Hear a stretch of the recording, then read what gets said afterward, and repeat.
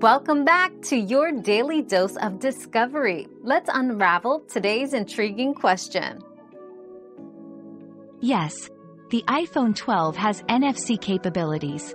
To use it, go to your settings and ensure NFC is enabled. Open an app that supports NFC, like Apple Wallet. Hold your iPhone near an NFC tag or terminal to interact with it. Apple Pay is a common use, allowing you to make contactless payments securely and swiftly. Additionally, you can read information from NFC tags found in many smart devices and public information kiosks. Your daily dose of discovery ends here, but the journey of learning never stops. Subscribe and join us again for more answers tomorrow.